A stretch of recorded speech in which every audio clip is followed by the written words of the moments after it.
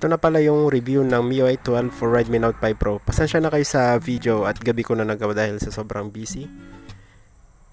So isa sa mga main highlight ng update na ito ay ang control center. Bago pa lang lahat guys, ang gamit kong ROM ay EUROM Beta. Isa ito sa mga unang nakaka-receive ng mga new update ng Xiaomi. Kumpara kasi sa Global Room, mga July pa marirelease ang Global Room MIUI 12 na para sa Redmi Note 5 Pro or AI. Smooth naman itong MIUI 12 kaso may mga ibang bug lang akong nararanasan maaring ma-fix ito sa next update.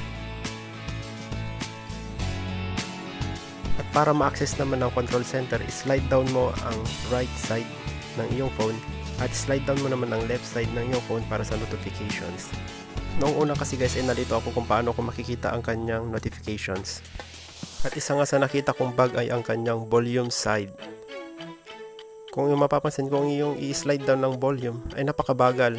Actually nag-adjust naman siya kaso mabagal kumpara sa MIUI 11. At isa pa sa mga naranasan ko maliban sa slide volume ay ang kanyang system UI ay minsan nag-force stop.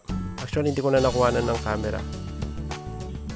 At kung minsan ang kanyang status bar sa taas ay nagkakaroon ng dark line pero nawawala din ito kapag ini-slide down mo na ang kanyang notification or control center. Pero madalang ko lang siyang maranasan o napaka-isolated lang siyang ma maranasan.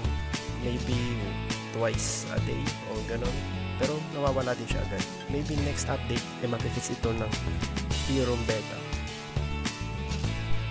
At mga nabago sa kanyang settings ay ang mga wallpapers.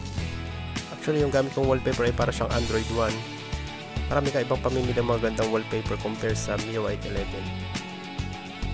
Isa nga sa nabago ay ang animation nito kapag ka na-unlock para na nga siyang iOS at iba pang mga graphical settings na battery usage at saka memory usage at iba pa.